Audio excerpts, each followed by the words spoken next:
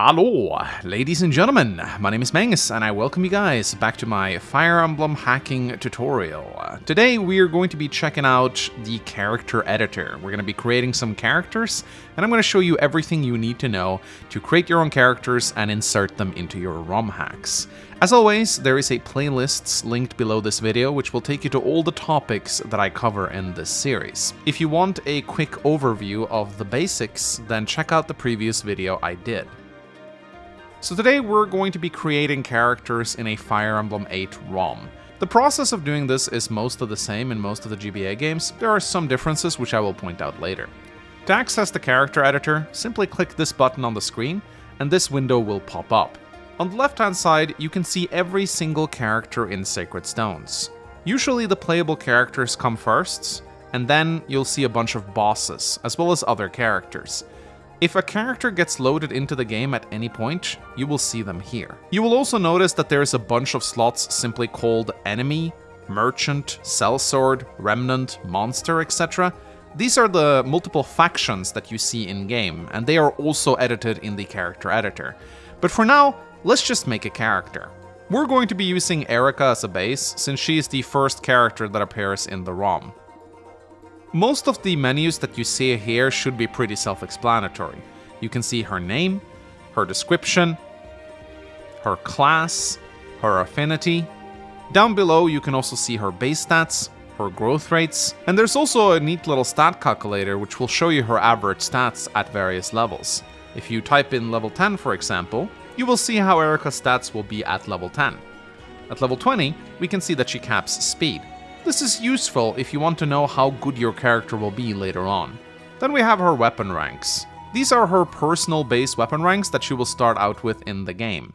However, if she has a class that gives her a base weapon rank, she will also start with those as well. In Fire Emblem 8, you just need to familiarize yourself with the various benchmarks. 1 point is E rank, 31 points is D rank, 71 points is C rank, 121 points is B rank, 181 points is A rank, and 251 points is S rank. Now, if you make any changes to Eirika's stats, you will notice that a little button called Write to ROM will light up in yellow in the top right corner of your screen. This is universal for any change that you wish to make to the ROM. You can change her stats, you can do whatever you want, you can increase her growth rates, up her constitution, reduce her luck, you can play around as much as you want, but no actual changes will be applied to the ROM until you hit Write.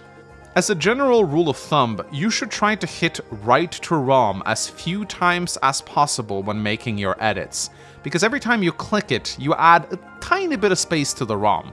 This is not something you need to worry about a lot, but if you excessively write to ROM, you will use up a lot of space over time. If you wish to revert all the changes you've done, you can just click onto another character and then click back to Eirika, and she should go back to her base levels. Anyway, let's go through the rest of the menus on screen. On the right hand side here, you can see her support data. Click on this and you'll get a list of all the characters she supports with, as well as their initial support values and their growths. Now, if you're completely new to coding, you may occasionally notice these little weird numbers on screen, such as 1E and A. This is because Fire Emblem Builder uses hexadecimal to write numbers. It is essentially a different kind of numbering system that allows more information to be conveyed with less numbers. It takes a little getting used to, but once you do, it's quite easy to read. There are a bunch of menus on the bottom side of the screen, but most of them are pretty self-explanatory. Hover over them and Fire Emblem Builder will tell you what they do. Most of the time, you don't really need to worry about these options, since most units will already get their abilities from their class. A good example of this is the Myrmidon Swordmaster lock. Eirika doesn't really need this toggled on because her lord already allows her to use Shamshirs in Fire Emblem 8s. However, if you want Eirika to be a different class, and you still want her to be able to use the Shamshir, then you have to toggle this box. All of these other boxes are pretty self-explanatory, and I don't think there's any need for me to go through each one of them. As you can see, there are just a bunch of cool things you can do here, such as not granting experience if killed. This is useful on enemy reinforcements if you don't want the player to farm them. If you toggle the boss option, the unit will have a red shield icon if loaded in as an enemy. You can also give her ballista access if you want her to shoot ballistas. Hell, you can even give her the Canto skill if you want her to be able to reuse her movement without being on a mount. There's a lot of cool stuff you can play around with here when creating your character. However, to start off with, I advise that you simply only tog the female box if your character is female, and let the rest of the boxes stay off. Now the first thing we're gonna do is load in a portrait. When you click on Eirika's portrait, you'll get this little box right here. Most of these buttons you don't really need to concern yourself with. This is advanced tools for portrait makers, and I will not be covering how to make a portrait in this tutorial, because honestly I, I don't know how to make a portrait, I'm not an artist. However, I will show you what a portrait looks like. Luckily, we now live in a time where there are a bunch of free-to-use portraits available online. On Klokinator's repo, for example, there are literally thousands of them available for you to pick between. So if you want to make your own hack, you don't even need to get someone to make your portraits. Of course, when you use freely available portraits online, you have to live with the fact that sometimes you can see other Fire Emblem hacks which uses the same portraits as yours, and this can take away a little bit of your own personal identity with the hack itself. The only buttons you should be aware of with this menu are the import image and the export image. Export image is very useful if you want to download a portrait from a ROM into an image file that you can then insert into another hack. This is what a Game Boy Advance portrait looks like. The reason why a portrait looks like this is because you have the portrait itself in the top left corner.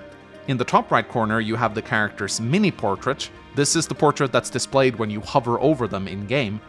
On the right hand side, you have blinking frames. Fire Emblem 6 portraits do not have these. In the bottom left corners are the mouth frames of the characters. These will be activated whenever the character speaks with in-game dialogue. The background color does not need to be anything specific, Fire Emblem Builder will automatically detect it and make it transparent. So now that you know what a portrait looks like, let's try importing one. Click Import Image, and go to wherever you have portraits saved on your computer. I'm just gonna find a random one. Alright, let's go with this one. Sometimes Fire Emblem Builder will tell you that the portrait exceeds the 16 color limit. Whenever this happens, just press on automatic color reduction and import.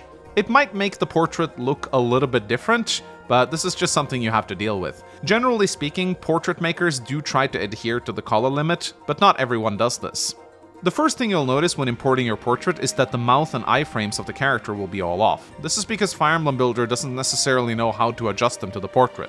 You then need to click on these little arrows here and align the mouth and iframes properly until it looks good. There we go. Once you have a image of the character with closed eyes and an open mouth, it should look good. You can now click Write to ROM and then click Write to ROM again to apply the changes. So now that we have the portrait updated of our cute Tsundere Lord right here, let us uh, change her other attributes. Let's start with her name and description. In order to change her name, we need to double click on it. This will bring up the text editor. This was a little confusing to me the first time I saw it, but I'll try to explain it as best as I can. If you click on the left hand side, you will see every single text dialogue in the game. Literally everything that you read in the ROM itself will be found here. As you can see, there's a lot here. Now, you can of course just replace the name Eirika with whatever name you want it to be. However, if you don't wish to overwrite the text Eirika in the ROM itself, you can click on Search, and then search for unreferenced free space. And the ROM will give you a list of all the text in the ROM which is not being used. This line right here, for example, Tsunderika press Write to ROM, and then double click on the text itself. Now we have her name. Let's do the same with her description. Again, if you don't wish to overwrite Eirika's original description, do the same thing again. Search for unreferenced space, click on one of them, and write whatever description you want. However, be aware that if you write too long lines, then the text will not fit on screen. Allow me to show you with an example. I'm gonna write to ROM here, and then I'm gonna start up my ROM to show you what I mean. As you can see right now in the cutscenes, our new lord will make her appearance because we replaced Eirika's original one. As you can see, her name works fine. But if we view her description, you can see that it's all jumbled up. As you can see, Fire Emblem Builder shows this text as red. This is an error, it's too long. So let's open it back up again. and let's simply clip it like this. There we go, that's much better. Now, Fire Emblem Builder will tell you if a text doesn't fit the screen or not, but as you get used to this and you start doing it more and more, you kind of get an eye for it, and you will see whether a text is correct or not just by looking at it. Let's write to ROM. Now here, Fire Emblem Builder just recommended I install a patch to change the script. Most of the time, when Fire Emblem Builder asks you if you want to install a patch, just press yes. It would not have recommended this patch to me unless it thought it was useful, so just do it. As you can see, the patch is installed automatically. I don't really need to do anything. Let us add our new texts and write to ROM. And let's boot up the ROM again. There we go, a beautiful description. Now that we've done the very basic things of changing portraits, name, and description, let's have a little look at her stats. A unit's total stats in the game is a combination of their base stats as well as their class stats. If we change Eirika's class over to a Cavalier, for example, and we check out her new stats, we will see that they are a little bit different to what we're used to. So let's give her a new class. Click on Support Class, and let's find a more appropriate one for her. For now, let's make her into a mage. I will make an entirely separate video on the class editor and how to make custom classes in the next video. But for now, just find the class you wish and click on it. As you get more familiarized with Fire Emblem Builder, you will learn which numbers correspond to which classes. So if I wanted to do this very quickly, I wouldn't even need to open this menu. I could just input number 26 in the class menu, because I know that that is female mage. These are just things you will naturally learn and get better at as you get more into ROM hacking. Now, if we take a look at her stats, we can see that they aren't great. 2 base speed as a mage? Huh, that sounds pretty shit if you ask me. Let's amp that up a little bit, shall we? Let's give her 10 base speed, as well as 10 base magic. This is going to be a glass cannon. Let's also change her growth rates around a little bit. Eirika's growth rates are kinda boring. Now, the maximum you can set a growth rate in Fire Emblem Builder is 255%. In this window, you can actually see the combined growth rates total of your character.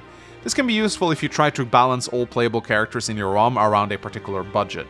Now one thing that is incredibly important to know is that we have now changed Eirika's base class from a lord to a mage. This means that she will not be able to seize thrones anymore, nor will she be able to access the supply. It is therefore very important that we tick the Lord unit box as well as the supply box. Otherwise, we literally won't be able to progress past these chapters. Now, because I feel like playing around a little bit, let's give Tsunderika a bit of a crit boost, similar to that of Swordmasters. And hell, why don't we just allow her to steal as well? Let's have some fun. Once you're satisfied with how your current character looks, press write to ROM again, and let's boot up the ROM. However, we now see on screen that Eirika is still a Lord unit. She definitely has better stats, but she's not a mage like we wanted to. This is because you need to use the unit placer. I'm going to make an entire video on the unit placer later on, but for now, know that the unit placer is responsible for loading units into the ROM itself. So we need to find the prologue, and then we need to find Eirika under player placement. Now you will see that Eirika appears in multiple tabs here. She appears in multiple events, like the chapter start events. These are all cutscenes, and Eirika is actually loaded into each one of them. Now, if you want the cutscene to look good, you sadly have to change her class in every cutscene. So let's just go ahead and do that right now. Click on Tsunderika, and change her class from Lord to Mage. And remember to hit write to ROM. You sadly need to do this every time you want to make a change in the unit placer. However, this doesn't really increase the size of the ROM that much because you're just changing pointers so don't worry about this too much. Here you can see the intro scene where Castle Renais is being sieged, you can see the soldier coming running up, but Eirika also appears in this scene next to her father. So find her and change her class to Mage. You don't need to do this if you're not concerned about what she looks like in cutscenes. If you just want to change her class in the game, just look for the tab called Player Placement. Find Tsunderika and change her class to Mage. Now let's boot up the ROM again. Now you can see that Tsunderika actually appears as a mage in the cutscene. There we go, she is finally a mage.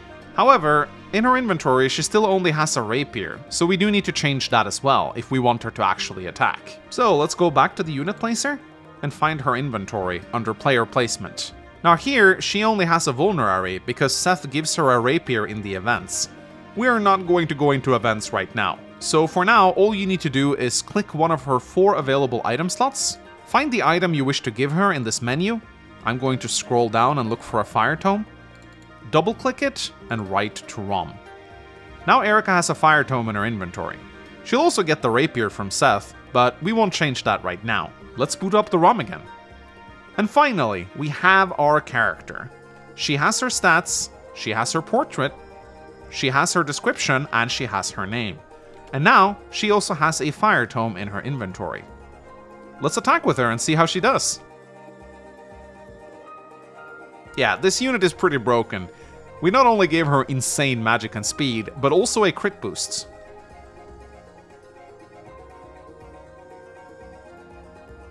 However, you may notice right now that she looks pretty much like a generic mage. This is because we haven't edited her palette. In order to access the palette, you need to click this button right here. This will allow you to edit the character's colors. However, I am colorblind, so I cannot teach you how to do this. However, I will probably make an entire video in the future where I bring on a co-host with experience of doing this, and we will teach you how to do it together. You can look forward to that in a future episode. For now, just be content with whatever your character looks like in the game. We don't need to go advanced in this particular episode. There is one small thing I want to talk about, and that is this little line here which says hard coding. Some characters are hard coded to act certain ways in the ROM. If you click on it, it will simply tell you what it is. However, there are other hard coded events. If we find the boss version of Lyon in the ROM, he is actually hard-coded to never be affected by sleep, berserk, and silence staves.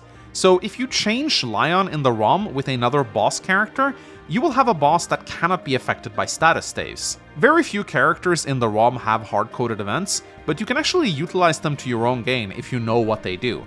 If you're unsure, just click on them and they will tell you. Just to give you guys a little bit of a recap, I'm now going to quickly change Seth's character using everything I've talked about. The first thing we need to do is give him a portrait. Now, you don't need to import your own. You can also just use a portrait that is already there in the ROM. Let's try to find one for him. Yeah, let's change him to a child. Now, one thing you do have to keep in mind is that some portraits do not have minis. As you can see, this character never appears as a playable unit, and so it doesn't have a mini portrait. So it's just listed as a question mark. But this is fine, he'll still be playable. Let's change his name, write to ROM. And let's also change his description. Right now, I am directly editing Seth's description in the game, so that means that I will lose out on it if I ever want to use it again. Let's give him the civilian class, just for fun. And let's remove his weapon ranks. There we go. We have now created a civilian Seth. However, he will probably still be loaded in as a paladin unless we go to the unit placer. So let's fix that real quick, shall we?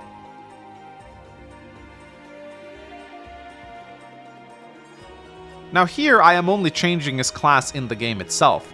This is important because if I were to change Seth's class in the cutscene where he fights Valter, why don't I just show you what happens if we mess around with classes in cutscenes. As you can see right now, Seth is literally a kid. And I'm pretty sure the in-game battle will crash as a result.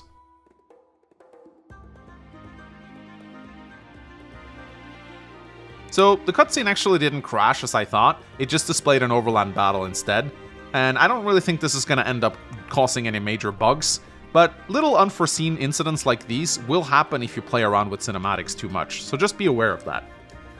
So there we have it, Tsunderika the mage, and Kid the kid. He now cannot fight at all, but it's kind of funny to see how busted Seth's personal bases are, to the point that even if you change him to a civilian, he'll still have pretty good stats. Now, because the civilians don't have combat animations, nothing will display when they attack, you'll just get the overland battles.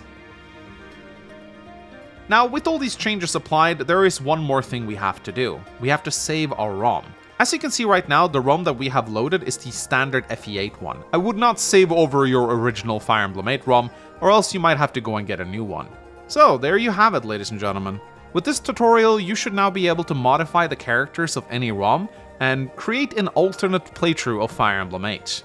Anyway, ladies and gentlemen, hopefully that is a bit of a good introduction to editing characters. Up next, we'll be taking a look at the class editor. I'm going to be teaching you guys how to make your own custom classes with your own custom animations. So stay tuned for that. Anyway, my name is Finn. Thank you so much for watching. and I'll see you guys next time. Bye bye.